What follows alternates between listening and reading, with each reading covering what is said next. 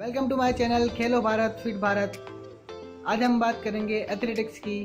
Athletics को कितने प्रकार में बांटा गया है और उसको हम आसानी से समझ सकते हैं। उसको अलग अलग इवेंट्स में बांट कर हम ट्रैक एंड फ़ील्ड जो इवेंट होते हैं, उसके द्वारा हमें एथलेटिक्स को बांट दिया जाता है। तो सबसे पहले हम बात करेंगे रनिंग इवेंट की, जो ट्रैक में होते हैं, वो सारे रनिंग इवेंट्स होते हैं। ट्रैक 400 मीटर का ट्रैक होता है। इंटरनेशनल जो ट्रैक होता है, जो 400 मीटर का होता है, स्टैंडर्ड ट्रैक होता है, उसमें एथलीट्स जो दौड़ते हैं, ठीक है? जो दौड़ते हैं, उनको एथलीट्स बोलते हैं और एथलेटिक्स में सारे इवेंट्स आ जाते हैं, रनिंग इवेंट, जंपिंग इवेंट और थ्रोइंग इवेंट, तीन तरह के इवेंट्स होते हैं।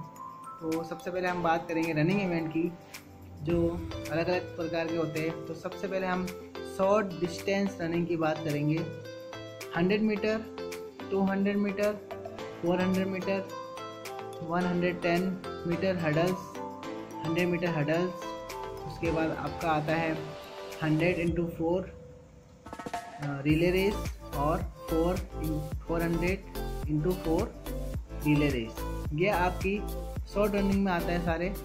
इसको आप स्प्रिंट भी बोल सकते हो स्प्रिंट रनिंग इसमें जो धावक होते हैं, जो रनर होते हैं, वो अपनी पूरी एनर्जी के साथ कुछ ही सेकेंड में अपने जो एंड लाइन होती है, उसमें पहुँच जाते हैं।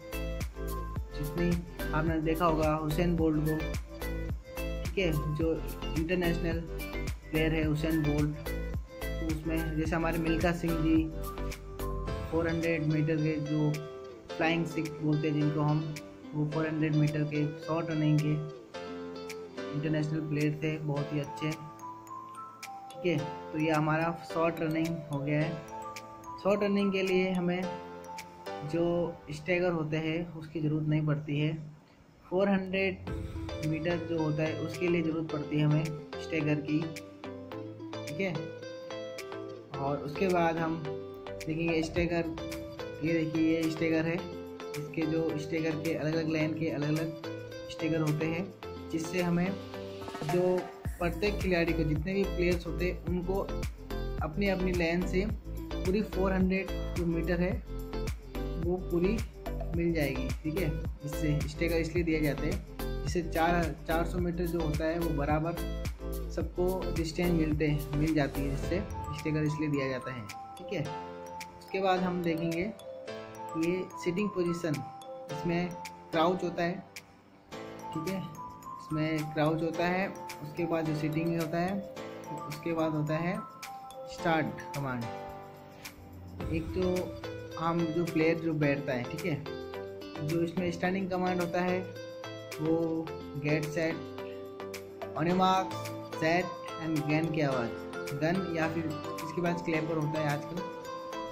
स्कूल्स में ज़्यादातर क्लेपर्स कॉलेज में क्लेपर्स ही होते हैं. गन बहुत कम के पास होती है, ठीक है. तो ये इसका स्टार्टिंग पॉइंट से स्टार्ट करते हैं। मार्क सेट एंड गन की आवाज़ या क्लेपर की आवाज़ आती है, ठीक है? वो में। तो ये तो हो गया आपका शॉर्ट रनिंग ठीक है?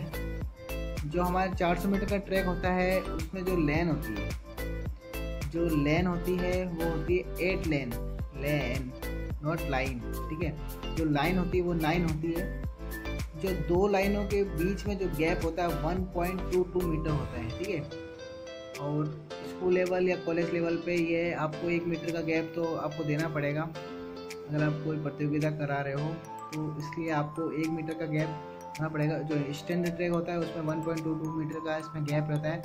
इसके बीच में, इन दोनों लाइनों के बीच में जो गैप होता है वन मीटर का, उसमें जो एथलीट होता है, वो दौड़ता है। और जो शॉर्ट रनिंग होती है, उसमें एथलीट्स को अपने ही लेन पे दौड़ना होता है। अगर वो किसी और लेन में जाता है तो डिस्कवालीफाई हो जाता है। और अगर वो क्लेपर की आवाज़ से पहले या रेफरी की आवाज़ से पहले जो वहाँ पर जो मार्क सेट को पिसल या गन बजाता है, ये आवाज़ करता है जिसकी गन की तो अगर वो उससे पहले खड़ा हो जाता है, पहले से ही तो उसको डिस्कवालीफाई कर दिया जाता है। पहले बार में, करने के बाद उसको सेकंड टाइम्स में, कोई भी अगर, कोई भी कोई भी प्लेयर अगर फ़र्स्ट टाइम अगर नहीं हुआ तो अगर दूसरे चांस में किसी और ने भी कर दिया तो वो डिस्क्वालीफाई हो जाएगा, ठीक है? तो ये तो आपका शॉर्ट रनिंग हो गया। हम बात करेंगे मिडल डिस्टेंस रेस की इसमें 800 मीटर 1500 मीटर 3100 मीटर और स्टिपल चेज ये सारी रेस आपकी मध्यम दूरी की रेस होती है मिडल डिस्टेंस रेस इसमें जो रेस होते हैं वो स्टैंडिंग पोजीशन में या कर्व पोजीशन में खड़े रहते हैं स्टार्टिंग पॉइंट में, ठीक है? और इसमें स्टेपल जो स्टेपल चेज जो रनिंग होती है स्टेपल चेज उसमें जो ट्वेंटी एट्स बैरियर होते हैं और सात वाटर जंप्स होती है, ठीक है? यह मेन आपको ध्यान रखना है। और ये सारे इवेंट्स आपको 400 ट्रैक में ही होते हैं, सारे जितने भी रेस होती है। इसके लिए जैसे आपको आपको लग रहा होगा 800 मीटर का ट्रैक बनाना पड़ेगा, वो नहीं अगर आप ये सारे भी, जितने भी रनिंग इवेंट है, वो 400 मीटर के ट्रैक में होंगे लेकिन इनको अलग अलग स्टार्टिंग पॉइंट दिया होता है अलग अलग इसमें स्टेकर दिए जाते हैं, जिससे प्रत्येक खिलाड़ी को उनको प्रॉपर अपना डिस्टेंस इसमें यह होता है, इसमें आपको अपनी लाइन पे नहीं नहीं दौड़ना होता है, आप लाइन चेंज कर सकते हो। लेकिन आपको, अगर आप लाइन चेंज करें तो आपको right hand right hand side से आपको आगे ओवरटेक करना पड़ेगा किसी भी प्लेयर को। अगर आपने लेफ़्ट से किया तो आप वहीं पे डिस्क्वालीफाई हो जाओगे, ठीक है? तो ये आपकी मिडल डिस्टेंस रेस होगी। इसके बाद हम बात करेंगे लॉन्ग डिस्टेंस रेस की। उसमें आपका आएगा पाँच हज़ार मीटर, दस हज़ार metre, five thousand, ten thousand, उसके बाद आपका marathon and walking. Walking race, ठीक है? तो सबसे पहले हम फाइव फाइव थाउज़ेंड और टेन थाउज़ेंड की बात करते हैं। इसमें भी इसमें भी प्लेयर अपनी लाइन लेन चेंज कर सकते हैं। स्टार्ट होने के बाद। और इसमें जो भी प्ले प्लेयर पहले आता है, अपने बेस्ट टाइमिंग में वो फ़र्स्ट सेकंड थर्ड जो विनर होते हैं, वो इसमें आ जाते हैं। अगर ज़्यादा प्लेयर है तो फिर छोटी रनिंग जो छोटी रेसेस होती है शॉर्ट डिस्टेंस वाली, उसमें अगर कम प्लेयर होते तो फिर सीधा वन फ़र्स्ट सेकंड थर्ड करते हैं। लेकिन ज़्यादा प्लेयर होते हैं तो उसमें हिट करवाते हैं हिट से उनको क्वालिफाई राउंड पार करना होता है, ठीक है? लेकिन जो लॉन्ग डिस्टेंस होती है, उसमें क्वालिफाई प्लेयर्स ही प्लेयर्स लेते हैं और उनको एक ही बार में फ़र्स्ट सेकंड थर्ड लेना पड़ता है, ठीक है? क्योंकि लंबी दूरी में जो लॉन्ग डिस्टेंस होती है वो बहुत ही ज़्यादा हो जाती है प्लेयर्स के लिए। तो उनको रिकवरी करने में टाइम होता है। उसके बाद हम बात करते हैं मैराथन की। मैराथन होती है हाफ़ मैराथन और फुल मैराथन हाफ़ मैराथन जो होती है, वो होती है ट्वेंटी वन किलोमीटर की और फुल मैराथन होती है आपकी फोर्टी टू किलोमीटर की, ठीक है? Twenty one point zero nine seven kilometre half marathon और twenty forty two point one nine five kilometre यह आपकी फुल मैराथन होती है। इसके बाद हम वॉकिंग रेस की। वॉकिंग रेस में आपको तीन प्रकार के होते हैं। तो अंडर सिक्सटीन होते हैं फाइव किलोमीटर उसके बाद अंडर ट्वेंटी होती है टेन किलोमीटर उसके बाद सीनियर आ जाता है। ट्वेंटी के बाद कोई भी गेम में सीनियर आ जाते हैं सीनियर कैटेगरी में आ जाते हैं। तो उसमें ट्वेंटी से फिफ्टी ट्वेंटी और फिफ्टी किलोमीटर वॉकिंग रेस होती है। वॉकिंग रेस में आपको यह ध्यान रखना है? जब आप वॉकिंग करते रहो तो एक पैर आपको ज़मीन में रखना है और दूसरा आपके हवा में होगा। अगर दोनों, अगर ज़रा सा भी आपका एक घुटना ऐसे मुड़ जाता है, ठीक है? मैं अगर ज़मीन में है, आपका घुटना नहीं होना चाहिए स्ट्रेट होना चाहिए आपका घुटना, जब भी आप ज़मीन में रखते हो।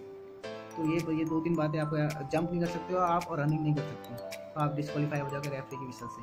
तो ये तो थे हमारे सारे रनिंग इवेंट तो नेक्स्ट वीडियो में आपको जंपिंग इवेंट और थ्रोइंग इवेंट बताऊँगा। और धन्यवाद।